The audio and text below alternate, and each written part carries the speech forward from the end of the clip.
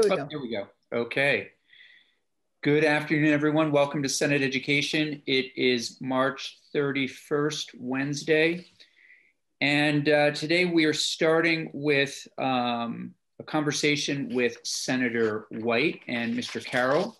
Uh, and then we're going to move into uh, return to uh, public school facilities. Um, it, uh, the conversation we started yesterday or continued yesterday with H 426.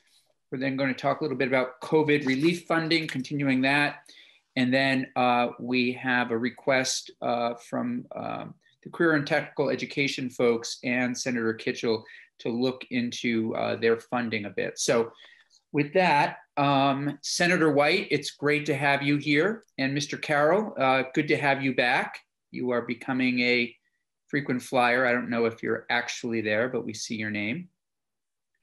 Thank Uh, you. He may not be because I was in the waiting room for a long, long time. And then it sent me a message that said I was trying to get in with the wrong code. Oh, okay. Well, we're glad you made it in, Senator White. And Mr. Carroll, Hi, Mr. Carroll. we see you now. Terrific.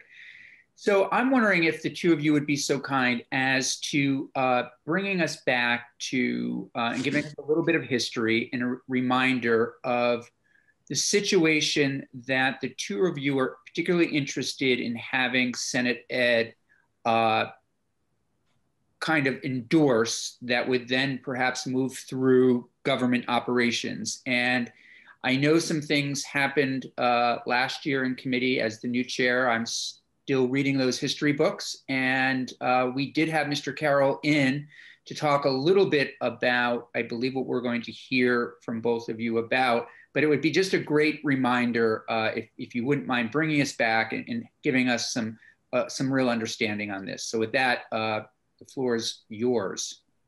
Sure, thanks. Um, so the we set up a committee called the Boards and Commissions Sunset Advisory Committee, and the goal was to um, eliminate unnecessary boards and commissions, ones that didn't meet, um, one or change the statutes of others to reflect the current situation. In the summer of 2018, the committee chose to eliminate the State Board of Education. And we put it, that in the bill for the 2019 session. Uh, Mr. Carroll came and talked to us and um, told us that the he was the new chair and that they were going to be working on changes to the State Board of Education. But we thought by putting in the elimination in there, it would um, spur on the conversation. There was they would have to have the conversation. So we put it in the bill for the 2019 session. The House took it out because the boards and commissions bill starts in the House. The House took it out and um, asked House Education to address the issue. They did not address the issue. In 2019 and 2020, Senate Education worked with the state board and the agency and passed, I believe it was one S166. Is that right, Mr. Carroll? That's correct. S166 passed. It passed through the entire Senate. And the House Education Committee, again, did not address that, did not take up that bill. I'm sure part of that was because of COVID. It kind of passed at the end of the 2020 session before we, when we were just about to adjourn for um, COVID issues. So um, then in the summer of 2020, the Sunset Advisory Committee added the entire bill, S166, into the boards and commissions um, Sunset Advisory Committee bill. We thought this would again spur the conversation. And again, the House took it out because the Education Committee wanted to address it. And what they decided to do instead of addressing it was to set up a summer study committee to look at the issue. Um, so it has now been three years that House Education has not addressed this issue. Senate Education did pass the uh, bill and worked with the agency and the state board on passing S126, 166. So the question now is should Senate government operations put a portion of S166 back into H122? I understand that um, it probably wouldn't be wise to put the whole bill in because there are some details in there that might need a little more work, but the sections that specifically address the um, necessary changes that need to be made. As it turns out, what we heard in the in the uh, advisory, the Sunset Advisory Committee, is that the current statutes are terribly out of line with what current practice is, and um, some of just one of the things, and I'm sure Mr. Carroll talked to you about this and will more, but one of the issues was that um, it this current statutes give the board the ability to make all kinds of rules that um, rightly should belong with the agency of education. And so um, that's that's the dilemma that we're in right now. Should we put this back in? We would love to put it back in and send it back to the house and see what they do with it. But we really need to have um, the, this education committee's um, endorsement uh, for doing that. We won't do it unless you decide to do it. And I think Mr. Carroll can talk more specifically about the sections that really need to be in there now and the sections that can't. It's a relatively long bill because it makes all the changes whenever you're changing um, a board. So that's that's where we are, and we would love to put it back in. And the I'll tell you who is on the Sunset Advisory Committee, just in case you're interested. It's Representative LeClaire and Representative Gannon, uh, Senator Collamore, and myself, and Matt Krause, who is a governor's appointee, and Sue Zeller as a governor's appointee. Well, I mean, the idea of working collaboratively with government, Senate government ops is incredibly exciting, and I appreciate your willingness to to possibly do this for us. Uh, and so, and I also appreciate your your understanding and willingness to let us, you know, dig into this a little bit. Uh, Mr. Carroll was in early on when things were getting started uh, to take us through some stuff, but we definitely would need a review. Senator White, what is your your timing on this? Uh, could you, I mean, if if we could work, between, you know, next week here and there on it, would you, you're okay? Oh yeah, this is okay. a House bill, so it doesn't have to go back. We would just like it to be able to go back so that the House actually, because if we put something in there, it's going to have to go back to the House. Yeah. And so we would like to be able to send it back in time for them to, to figure out what they're going to do with it. Um, and and I really think that this, I mean, it has now been three years that yeah. this issue has been worked on it, and the House Education Committee has not taken it up.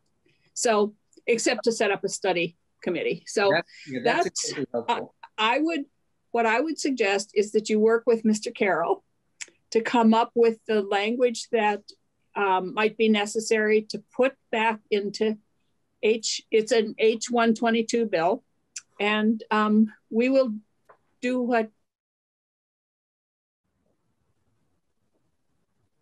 Well, I think we've heard enough. There we go. What? Oh, are you there? Yeah. Okay. Can, Sorry, you're, you can't hear. I'm, you're you're. Uh, I'm losing you on my screen. Can you all oh. hear her? You broke up a little bit there, Senator White. Oh, I, I'm sorry. So we'll do. We'll if you were. Can you hear me now? Yes, perfectly. So I, I would suggest. I was just saying. I would suggest that you work with Mr. Carroll to figure out what um, what language needs to be in there from S166. And I wouldn't put in new language, yeah. just the sections from 166, because if you put in new, then it really changes yeah. um, what we had done before. And, and then we'll do whatever you um, want us to do. Great. Uh, Senator White, and I know you probably have to get back and we can turn it to Mr. Carroll, but just a quick question, and others may have questions before we lose you. So overall, though, this bill the sunset bill, what is it? What is it looking at, just broadly? Oh, it it eliminates. We go. We've been going through. It's a three year uh, committee. We've uh-huh. been going through every board and commission that exists in the state and eliminating ones that don't meet. We actually eliminated one um, that had to do with foreign trade, and Senator Lyons had a little fit, and um, we put it back in. And but it what it did was by us eliminating it, it spurred that committee on to start meeting again. So right. that's what we've been doing is eliminating ones that don't need to exist or that don't meet and changing the statutes of the ones that need to exist but current statutes are not in line with what they currently do and then what work happens with that when we change those it goes to the committee of jurisdiction which is what happened here. It went to the senate education committee. Questions for senator white? Senator lyons please. Oh, and my question is so uh, how do we encourage the um, administration and the governor in particular to make appointments to some of these commissions or committees so that they can meet? Well, we uh, um, we are working on with the archivist um, to set up a a software that will list all the commissions and committees and boards that it'll list their uh, duties, who their appointing powers are, what their terms are, who the current members are, when they're, and the archivist is working on that. And if there are uh, boards and commissions that need to have appointments, I would, um, Jason Maulucci was the person that was doing it for the governor, but he is no longer doing it. I'm not sure who the person is now. Yeah. But we we contacted we would contact him and say, "Hey, can you make these appointments?" And um, it was it got results. Good work. It did get results for at least a couple of appointments to mm-hmm. the commission, but still not. Okay. Other questions for Senator White? Okay, Thank you, Senator White. We'll, Mr. Carroll, if you mind uh, sticking around and we'll have a conversation with you. That would be great. Okay, and I'll, if you have any more questions, feel free okay. to Terrific. Thank you so much. Okay, thanks. Bye. Uh, Senator Perchlik, do you want to just uh, remind us, this is work that you worked on um, last year as well. I remember that was raised when Mr. Carroll was first in. Um, and the committee supported the work and uh, unanimously to, to make these these these changes?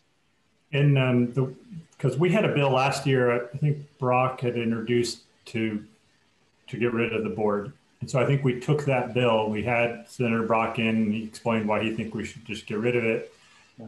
Um, but then what Chair Baruth did is basically had AOE with Secretary French and then Mr. Carroll for the board just kind of go back and forth. It was almost like a negotiation about which which things we should keep of which things. And my understanding is, in the end, everybody agreed. You know, the, the board, you know, through Mr. Carroll and AOE through Mr. French, agreed on a split of duties, and the and the committee was unanimous in that support as well. I think there was a, you know, at the beginning, I don't know if there was anybody that wanted that supported the bill just to get rid of it, but it, that's how it that's how it started the conversation.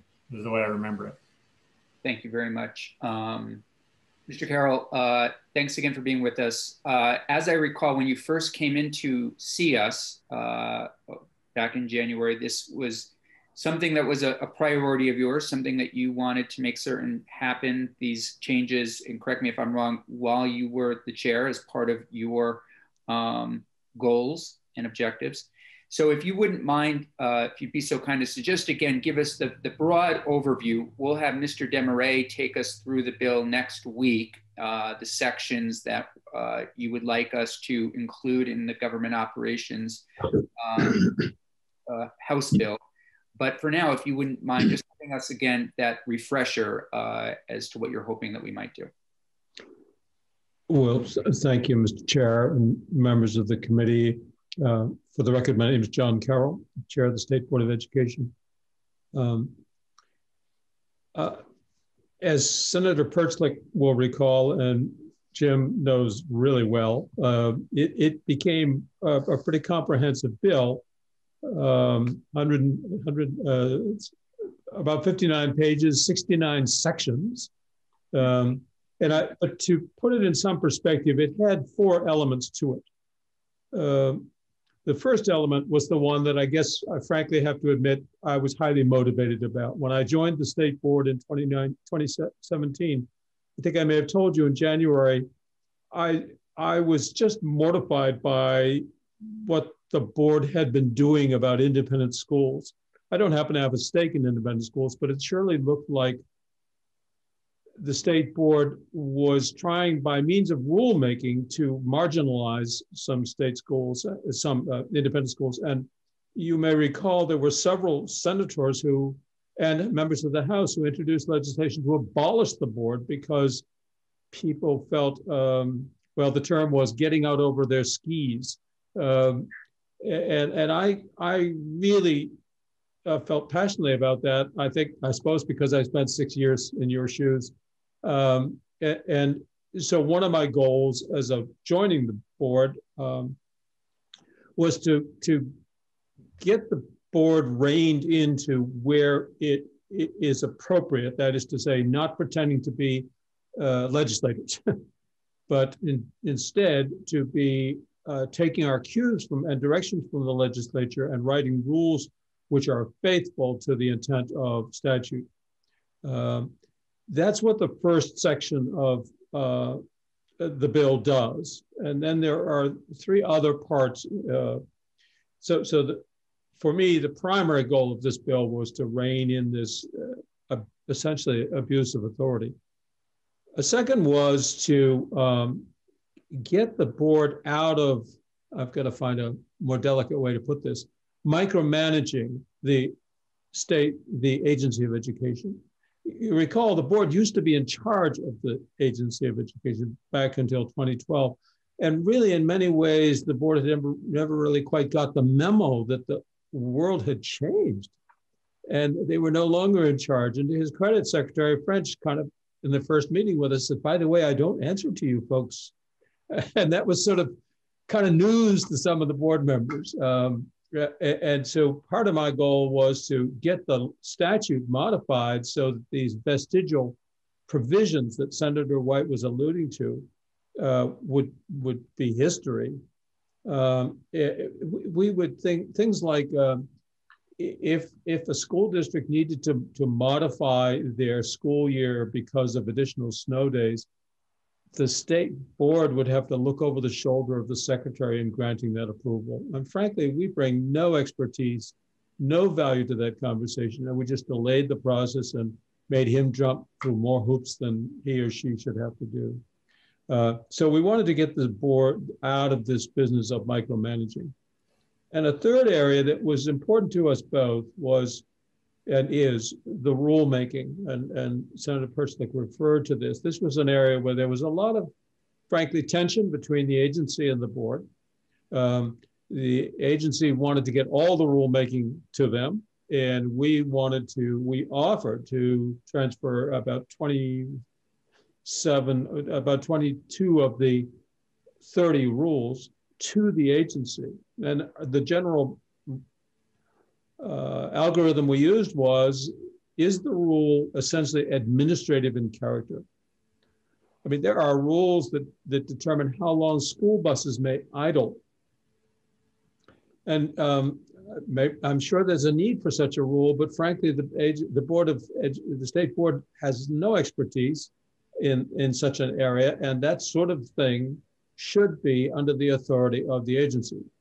In the, in the end, the bill that the Senate committee, um, I, I, think that Senator Perchlik used the term negotiated, and I think that's actually a very good term, uh, was that the, the baby was divided. About uh, five or six of the rules stayed with the Board of Education, and those are the rules that really uh, speak to educational quality, what happens in schools, the quality of education, uh, and all of the rest um, so that's about 24 out of 30 went to the agency.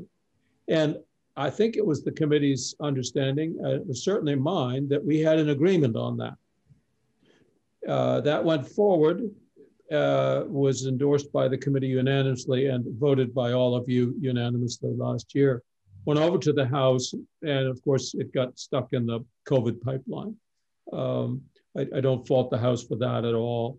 Um, and, and then earlier this year, it turns out that uh, Secretary French either changed his mind or never had agreed and has put forward a proposal to uh, transfer all rulemaking uh, to the Agency of Education. He didn't tell us about this, but that's been circulating in the General Assembly. Uh, we found that surprising and maybe even disturbing. We thought there was an agreement, uh, but he tells us, I asked him the other day, and he said, no, I, I, I didn't agree to that. So Senator Perchlik and I and others apparently were under a misimpression. Um, in any case, it seems like that's a big sticking point and is going to take some serious conversations. Um, and then finally, the fourth purpose of the bill. So let me just be clear. The first purpose was to rein in excess of uses of authority. The second was to get the state board out of micromanaging the agency. The third was to share some rules. And the fourth was simply to do a ton of, um, what do you call them, conforming changes that, that Jim and others spotted throughout the entirety of statute. And that's what really added to the, brought us up to the 59 pages. Uh, what I, what I, when Senator White contacted me, so, well, so my, let me back up. So before I was contacted by Senator White, I was just in touch with uh, Chair Webb of the House committee saying, I hope you can do something on this. And she, for various reasons, felt they wouldn't get to it till the summer. And I said, okay, well, we'll get to it then.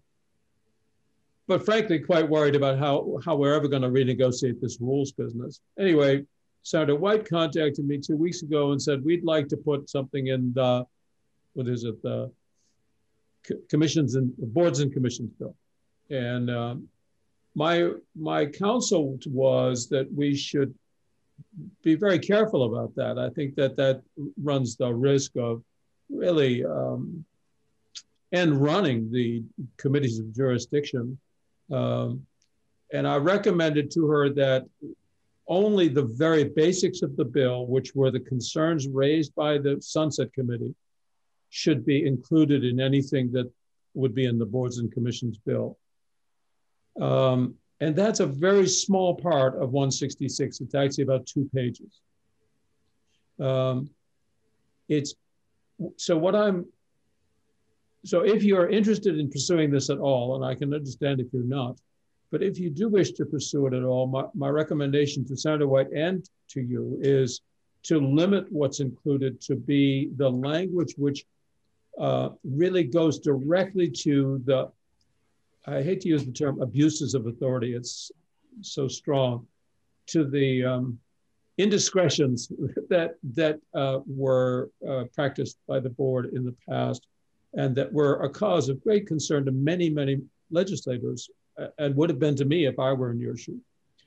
And that it, and so specifically what I have drafted um, um, really, I haven't drafted anything. I've simply excerpted pieces of 166. Um, and, and it comes from what's called section one, which is the part that speaks to what the board will do. Part two speaks to what the secretary will do. My thought was, given this tension between the board and the secretary that has recently arisen in the last couple of months about rulemaking, it's not my place to say anything about the Secretary of Education. We ought to confine our advocacy to the board itself and what how the board needs to change and improve. And specifically what the the very brief excerpt, it's about two pages. It takes the very beginning of the bill and where where the bill says uh, it repeals the language which which um, was put in, in in 2012, which gave the board the authority to quote establish policy. And that language, however well intentioned, has been what was exploited by the board to do some stuff that simply was never countenanced in law. Um, and also, at my request, Jim added language around rulemaking to say that um, such rulemaking shall be to carry out the powers and duties of the board, of the board as directed by the General Assembly uh, within the limits of legislative intent. So was it just an attempt to fence the board even more around or into the corral that says this is what you can do as stated by the General Assembly and no more. And you can't you can't wander out of the corral anymore. You've got to stay true to the legislative direction you have. So again, so, just so that we know, so you had four pri- you have four priorities. We're really addressing that first priority. Really. Uh, and Jim has language on that. Uh, uh, Mr. Desmarais, I believe, uh, I'm just looking for a nod. You have language for us to look at uh, next week. Uh, yeah, um, so yes, uh, I don't have new language. I have language from last year in this bill S166. If the first priority is to change the wording around state boards' responsibilities, take away reference to making policy, that's a very simple change. Once you get into rearranging who has rulemaking authority, then the consequence of that is it affects the entire Title 16. Hmm. So that's where you, you can't just change the rulemaking authority up front and not align it with everything in the whole title. And so that's what we get into a 60 page rewrite. So if that's what you want to do, it's a much bigger deal. If it's just clarifying that the state board doesn't have policy making responsibilities, that's a very simple thing to do. Mr. Carroll, what are you thinking? That's precisely okay. the thrust of the two pages that I accepted from 166. Okay. Um, it, it, it, it's simply sections one through seven uh, in, in the beginning of the bill. I can go over this with you, Jim, if you like. Uh, I think what would be probably, uh, and I'll look to Mr. Desmarais for his endorsement or uh, thumbs down on this. If you would forward it to Mr. Desmarais and to uh, the members of the committee or to Jeannie, and she'll get it to all of us, uh, we can have a look at it and um, we can talk with Mr. Desmarais as to whether or not that fits in the with the description of of your goal. Right. And we may hear, uh, you know back from you again next week uh, when we take it up, um, and perhaps from the agency just to make sure that again they're they're on board. But this doesn't sound like a terribly heavy lift, and it sounds and I really appreciate you reaching out to the House to get their, you know, it would have been nice if they had the time to do it, but that I completely understand. But I appreciate your outreach there as well as to Senator White. It only helps our work and advances uh, what I think makes a lot of sense. Mr. Desmarais, do you please? Yeah, just to say, I think uh, Chair Carroll, I think page one through seven also rearrange responsibilities for making rules. But I don't go as far as page one through seven. I stop at page two. Okay. Okay. Great. Perfect. okay. Great. I don't, I don't want to mess with rules. okay. Senator Hooker. Well, um, thank you, Senator Campion. And uh, Mr. Carroll, but you did make reference to rules and said something about fencing the department in. Uh, the board. The board in, fencing the sorry, board. If, if okay. I said the department, I apologize. I want to fence the board in on its rulemaking so that it does not excurd out into territory okay, that's so not authorized by statute. You're considering keeping those five rules that the board that pertain to the board or the board has some uh, Actually, this would remain silent on rules. Oh, okay. on specific rules, because there seemed, I thought we had an agreement and there seemed, that seems to have dissipated. And so I, I just don't feel like I can speak about which rules go where. That seems to be a, a new fight that we have to work through offline somehow. Um, okay. Thank you. I, I must have misheard you, yeah. um, your reference to who was going to have the fence around them. uh, yeah, I'm sorry. I did. I must have misspoken. It's it's it's the board that needs to be fenced. sure. Senator Perchlik.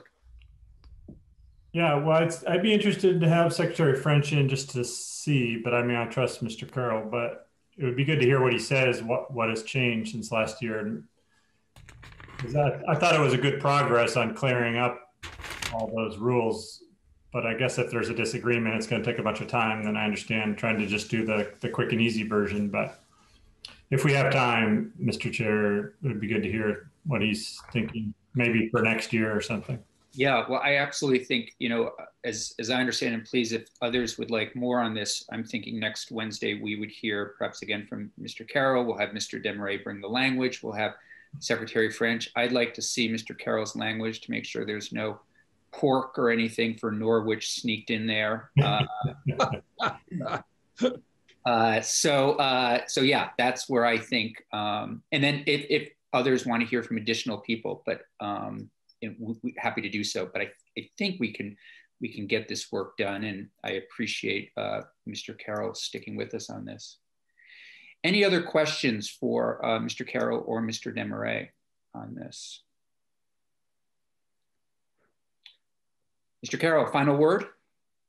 Uh, just uh, wanted to observe that we on the board are so frustrated by this rulemaking conversation that I, am going to propose to the secretary that we put together a working group between a, with a couple board members and a couple of folks from the agency and sort this thing out once and for all without taking any more time with the General Assembly.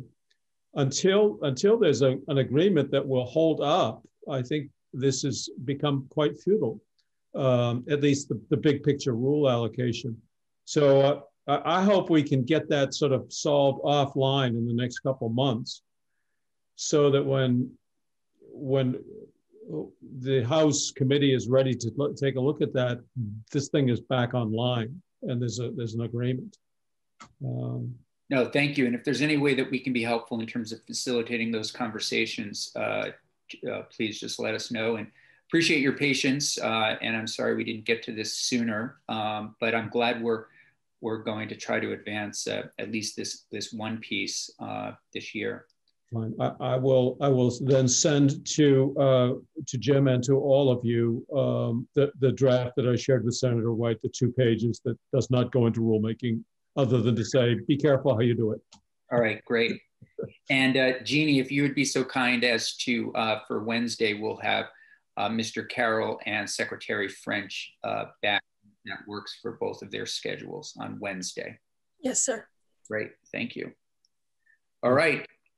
Thank you so much. It's great to see you again. Thank you so much. Appreciate your help very much.